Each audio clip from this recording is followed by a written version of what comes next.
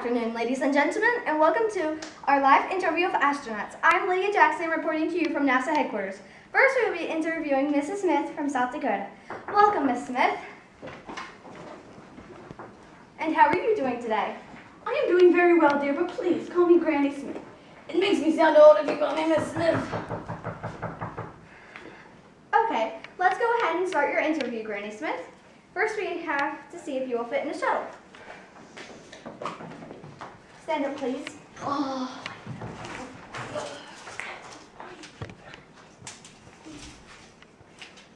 Five foot exactly. oh, God.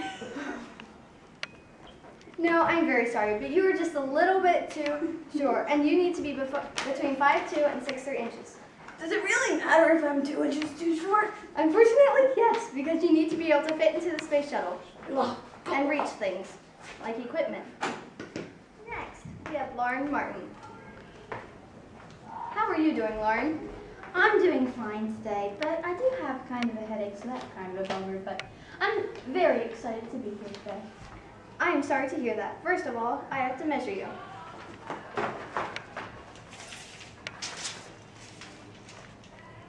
Five, seven. Perfect. All right now, that's just wonderful, isn't it? Now, I will ask you a few questions. Are you a citizen of the United States? yes, I am. Have you had 1,000 hours of pilot in command flying time? Well, not exactly. So I've only had 500 hours of pilot in command time. I'm very sorry, but you have to have 1,000 hours. All right. Following Lauren, we have Tori. I'm sorry, Tori, but I cannot pronounce your last name. That okay. Many people do not. So, Tori, first I have to measure you.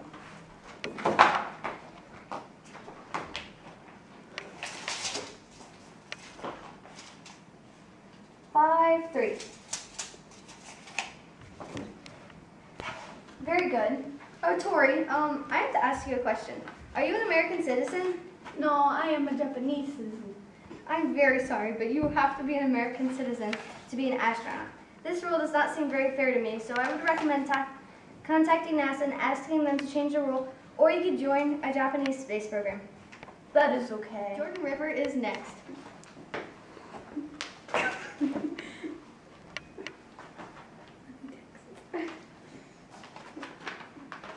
Hi, everybody. Oh, it's only you. Why are you wearing a dress? I mean, it's not like you were on TV or anything. As a matter of fact, we are on TV. Oh, hi everybody. Hi mom. Hi dad. Text me if you're watching, okay? Jordan, if you'll please put your phone away, we can begin your interview. Jordan, Hmm? if you put your phone away, we can please begin your interview. Just a second. I need, I need to check if anyone has seen me on TV yet. Jordan, what is your favorite subject that you were taught in school?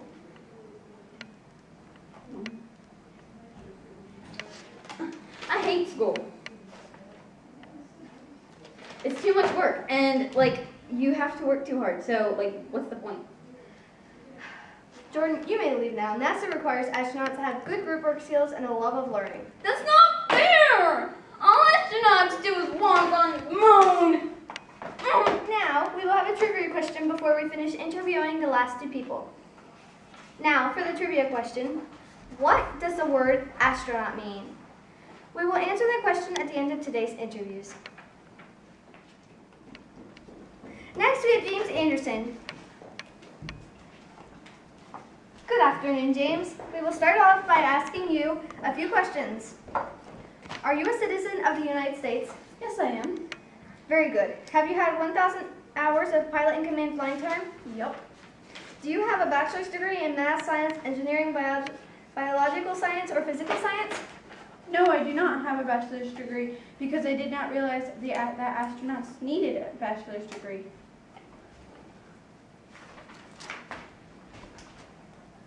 Finally, last but not least, we have Leah Moore. Okay, that's fine with me. Do you have your bachelor's degree in science, math, bio- biological science, engineering, or physical science? Yeah, I have a bachelor's degree in math. Good. Are you a citizen of the United States? Um, yes. I was born in Virginia. Have you had 1,000 hours of pilot in command flying hours? Yes. Now let's measure you.